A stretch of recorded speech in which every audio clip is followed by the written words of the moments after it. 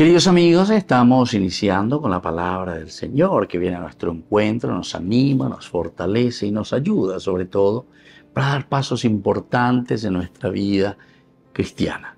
Hoy, queridos amigos, estamos leyendo el libro de los jueces. Estamos ya en esta feria privilegiada de Adviento. Nos dice el capítulo 13, versículos 2 al 7, del 24 al 25. Había un hombre de Sorá del clan de Dan que se llamaba Menoah. Su mujer era estéril y no tenía hijos. El ángel del Señor se apareció a la mujer y le dijo, tú eres estéril y no has tenido hijos, pero vas a concebir y a dar a luz un hijo.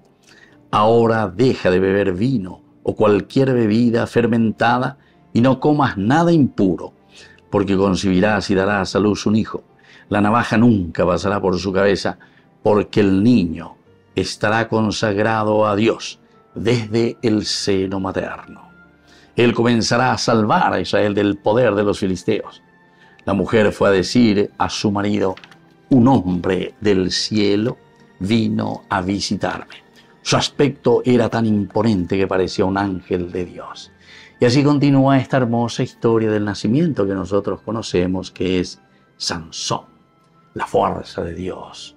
Entonces, queridos amigos, hoy también Dios nos invita a nosotros a tener esta fuerza, esta gracia de Dios, pero justamente como nos decía este libro escrito, ¿verdad?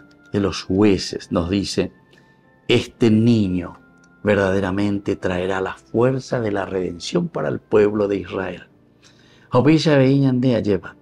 Lleva, ya nada más y nada menos que al Hijo de Dios que nacerá en el seno del mundo, la encarnación. O así como tenemos la figura de Sansón, la fuerza que vence todo mal.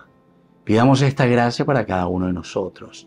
Pidamos esta gracia, queridos amigos, para que nosotros también, con la fuerza de Dios, podamos vencer todo obstáculo y hacer que Dios mismo reine en medio de nosotros. Que la bendición del Señor descienda sobre todos ustedes, el Padre y el Hijo y el Espíritu Santo. Amén.